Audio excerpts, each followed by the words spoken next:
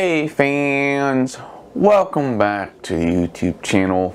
Thank you so much for watching today's awesome vlog.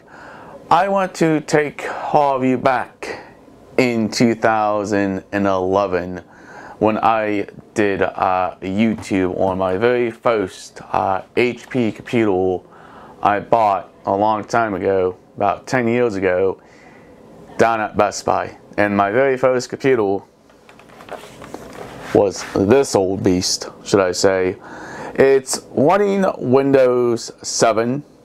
No support for Windows 7 on this system anymore. I'm not going to try to put uh, Windows 10 uh, on this system because I don't think it will work with the outdated hardware uh, on this machine. But this was my very first computer. You kind of there's some of the stuff on this side. Speakers, and lots of different ports on that side. And you kind of notice it's blinking because I just had the system on. I was doing some updates. But let's go ahead and wake it up and show you what I still have on this machine. I still have my photos and my music on this computer. But let's go. Let's take a look at it. Let's have some fun.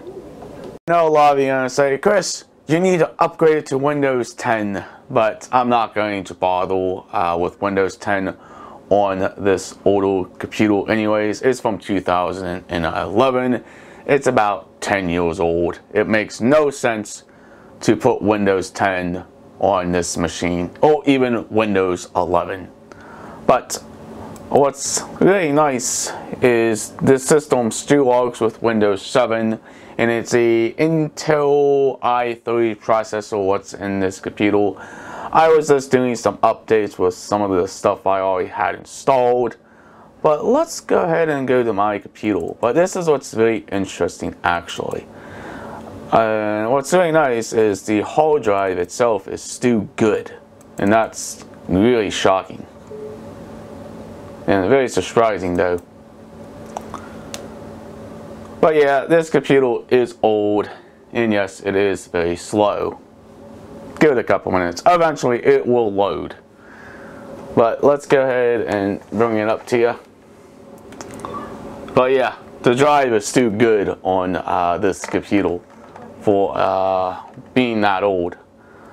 But yeah, I still have some information on it. I don't use this computer at all anymore. It's just basically I gave it to my sister to actual look at and see what she can do with it. But yeah, this is the image of what's originally on uh, Windows 7.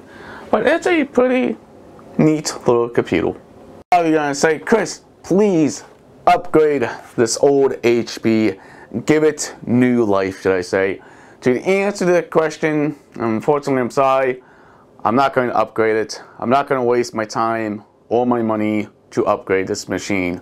I'm not going to upgrade the hard drive to SSD, not going to upgrade the Wi-Fi card, not going to upgrade the CPU, not going to upgrade the memory on this machine.